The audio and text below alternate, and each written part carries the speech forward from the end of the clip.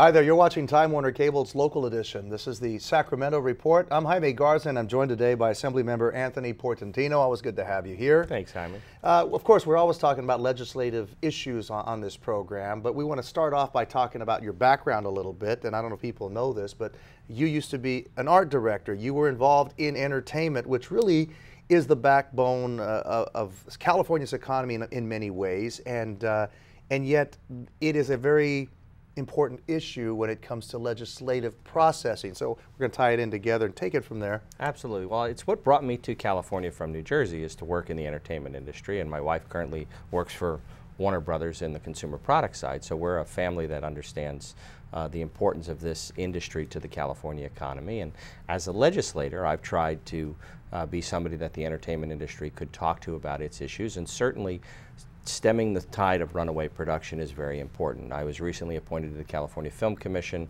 where its mission is to try to keep productions in California.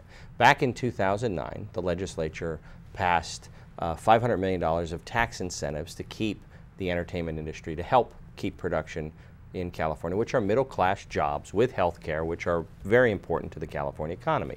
Well, we are going to be holding a series of hearings on that entertainment tax credit to see how effective it is. So the taxpayer understands that it was an investment, not just an expenditure. And the estimates are coming back that the the multiplier effect is in the it, over a billion dollars, that it helped the California economy uh, first by keeping principal photography days here and keeping those working men and women employed. But secondly, it's not just the production, it's the caterer, it's the uh, material manufacturer, it's the special effects house, it's, it's a whole host of, ta of tangentially related industries that help make a TV show or a movie. So uh, the California Film Commission, uh, labor representatives, um, Screen Actors Guild, a number of folks who are touched by production are going to be reporting to the legislature how effective this is. You know, I was just talking to some friends just the other day, and we were talking about how uh, one movie company is going to be focusing, or the theme of the movie is here in California, but they're going to be filming the whole thing in another state. Right. Uh, that's got to be very disturbing. Absolutely. I mean, if we're not going to make it worth people uh, for our people to stay here, right where are people going to go? Are we going to just lose the industry? Right, and unfortunately, we've been losing too much of it over the last decade. And what's important about the tax incentives that the state enacted is there's accountability measures. There's a, it's some incentives are controversial because we don't know who gets them. We don't know if it had the intended purpose. There's a lot of discussion about some of the decisions that are made by the legislature in the middle of the night.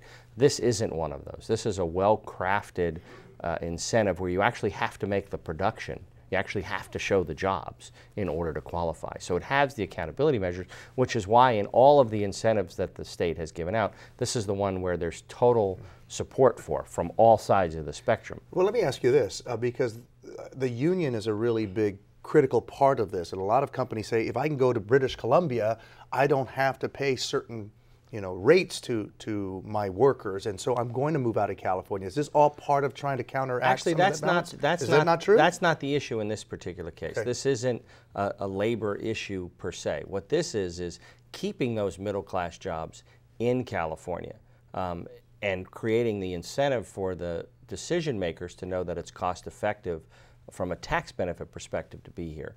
Because when they crunch the numbers for Canada, right. when they crunch the numbers for New York, the, the margins are so small that the tax incentive makes a difference. So they need to have the, the budgetary flexibility to see that California makes sense. You got to keep the jobs here. Absolutely. All right, Assembly members Anthony Portantino, thank you so much. And thank you at home for watching Time Warner Cable's local edition, the Sacramento Report. And don't forget, you can watch this interview as well as others by going to My Government On Demand, and you'll find that on Channel 1.